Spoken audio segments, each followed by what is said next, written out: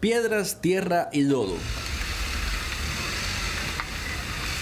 Ese es el panorama al que se enfrentan a diario conductores y peatones que transitan por los pasajes 16 y 17 de la notificación San Andrés, en el distrito de San Martín, quienes aseguran que la situación tiene años de representar un peligro.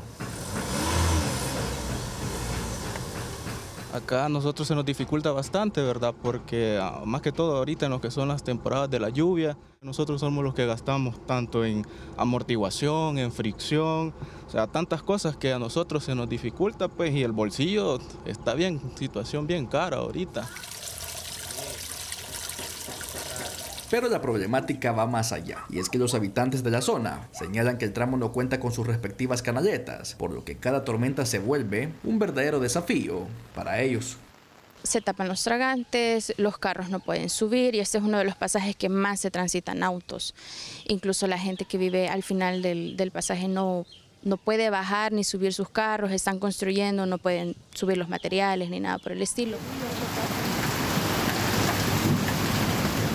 Esto viene ya de muchos años, ¿verdad? Pero últimamente hemos tenido el problema de que habían estado viniendo a tirar ripio y todo eso se nos viene y se nos acumula en el tragante y se tapa.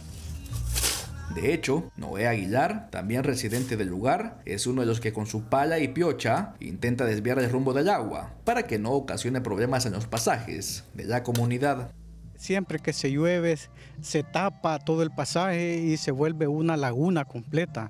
Así es que ni modo tenemos que realizar nosotros, eh, destapar las cunetas, hacer zanjitos para que el agua pueda correr, porque de lo contrario nosotros estaríamos en un problema más serio. Ante esto, solicitan obras de mitigación a las autoridades correspondientes lo antes posible. Kevin Lemus, TCS Noticias,